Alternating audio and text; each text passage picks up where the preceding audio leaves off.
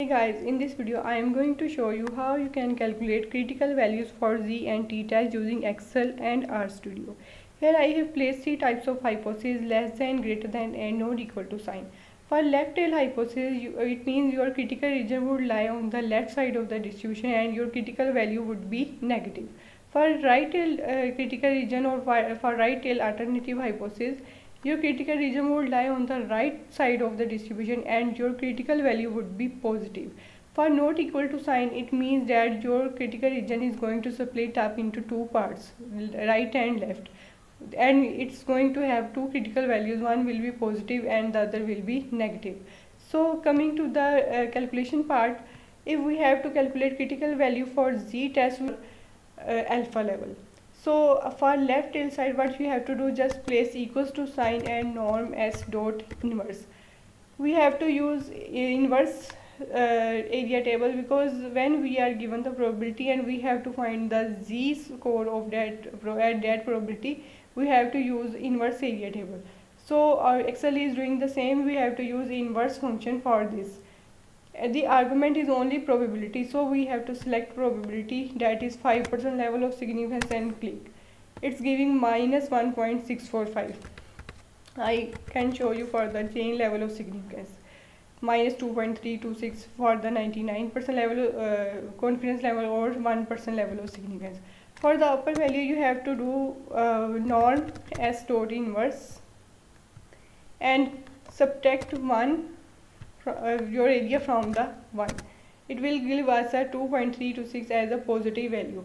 If we want to calculate uh, this value uh, in another way so use absolute function and select this value.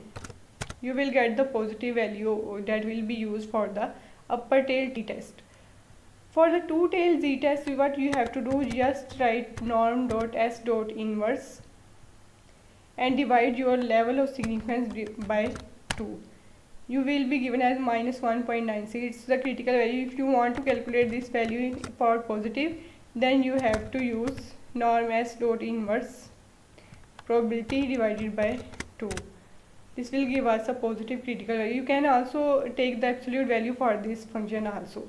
Okay coming to the critical v, t value.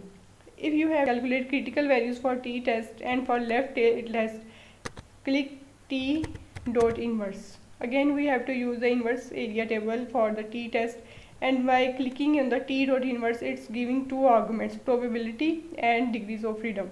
For probability I am selecting 5% and for degrees of freedom I am selecting 5 um, as you know the degrees of freedom for a one sample t-test is calculated as n minus 1 N number of sample values minus 1 click enter and you can see that it says negative value minus 2.015 now I want to calculate this for the upper tail test. T dot inverse subtract our probability from my uh, from 1 and use second argument of degrees of freedom. To calculate in another way I am showing the absolute value of the t dot inverse function for probability select and select degrees of freedom now click. You are uh, again having a this value same as the positive value. To calculate the t value for the two tail hypothesis just use t dot inverse and two tail. Calculate uh, use probability and degrees of freedom. Okay you are uh, getting 2.571 as a critical value for the t test. Now i am i am taking to you my RStudio and coming to the studio, i have to show you how you can calculate t value for the left tail test. You have to place qt uh, qt and RStudio is giving us the arguments p df ncp what are these arguments? You must have to find its help. Question mark qt will give you a quantile.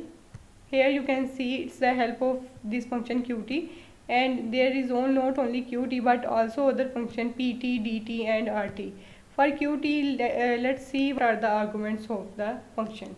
P for probability degrees degrees of freedom ncp for uh, non-centrality parameter lower dot tail is equals to true will give us a lower uh, left tail t values so coming to the qt i have to show you p is equals to 0 0.05 my degrees of freedom is 5 and i am taking lower dot tail is equals to 2 you can only place t in place of uh, all the spellings. Now plus 2 minus 2.015 the same as I have obtained from the Excel.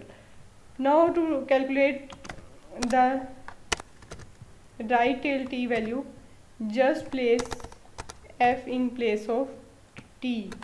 So sorry so it's 2, 2 point positive 2.01504 so to calculate this for the two tail hypothesis I just have to divide my alpha by 2 just as we are doing in uh, Excel. So this is giving a negative value. If we place here f so we will get a positive t value for the two tail hypothesis for the left tail z test what you have to do you have to use q norm function what are the arguments of the q norm function p mean and standard deviation are by default uh, 0 and 1 for the standard normal distribution. Lower dot tail is equals to 2 will give us a uh, left tail uh, z test value. Here p is equals to 0 0.5, 0 0.05 lower dot tail is equals to t.